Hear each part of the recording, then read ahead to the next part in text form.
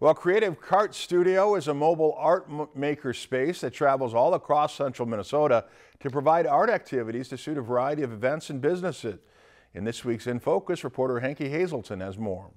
Creative Cart Studio is always on the go with everything based out of its trailer. They close and open up shop at any business or town located in central Minnesota, with today being Brainerd. I work mostly with nonprofit organizations and it's usually just another asset to like whatever um, event that they have or their promotion. Each event is different and never the same, which can be challenging to see the vision of multiple businesses at once and capture their well designed theme. I listen to the objective of the event and then I try and tailor an art project that's made specifically for them. Although she doesn't have a specific specialized art, Maria has made a lot of ceramics that not only bring her smiles, but her customers as well. I really like a handmade functional piece of pottery.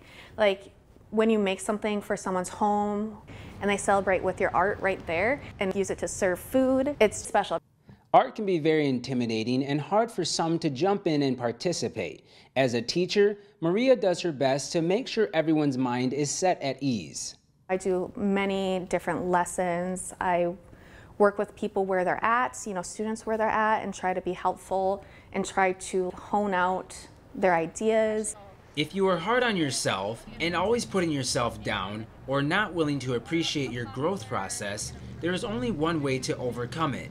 Probably the most effective way to learn, in my opinion, is to have fun and to approach it with joy.